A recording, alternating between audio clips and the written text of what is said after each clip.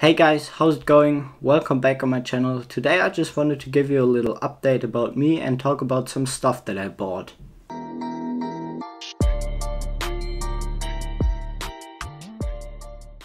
You know, in the last month I did some upgrades on my gear, but I didn't do like the most popular upgrades like getting a new camera or getting a new lens. I focused on all the little things that make your videos and your photography really stand out and make it cinematic and look really pleasing.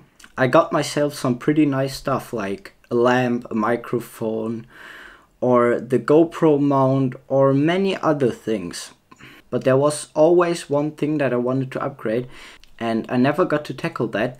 So last week I decided to now focus on that problem.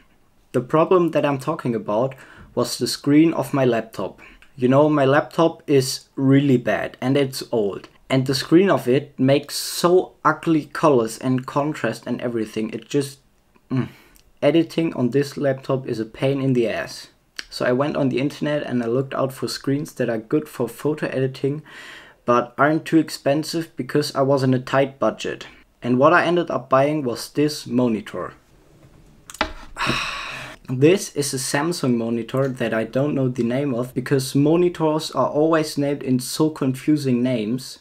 I just can't understand it. I mean, why can't they name a monitor in a regular name like Jared or Jonas or Richard? What the fuck, Richard?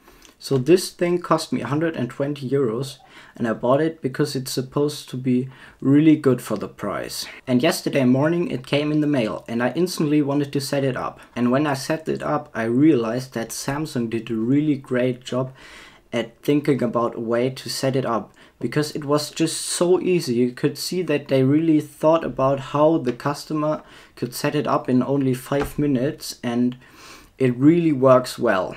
Yesterday, by the way, was also the first day where we got snow.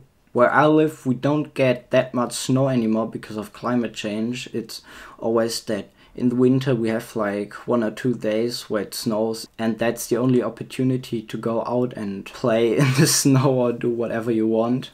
But the snow wasn't coming in the morning or something it was coming in the evening and I knew that the next day was so warm that it would be gone until the next day. So at 11 p.m. I looked out and saw that it was snowing and I just thought I will do what I must.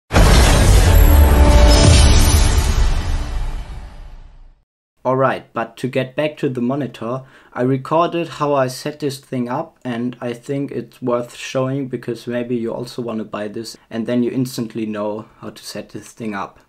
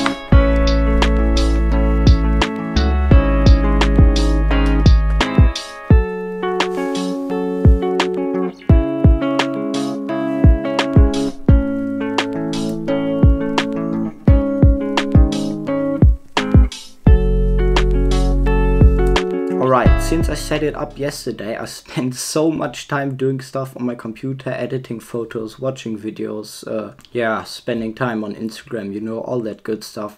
And especially at the photo editing, I realized that this monitor was exactly what I was looking for because, you know, it has accurate colors and it has accurate contrast.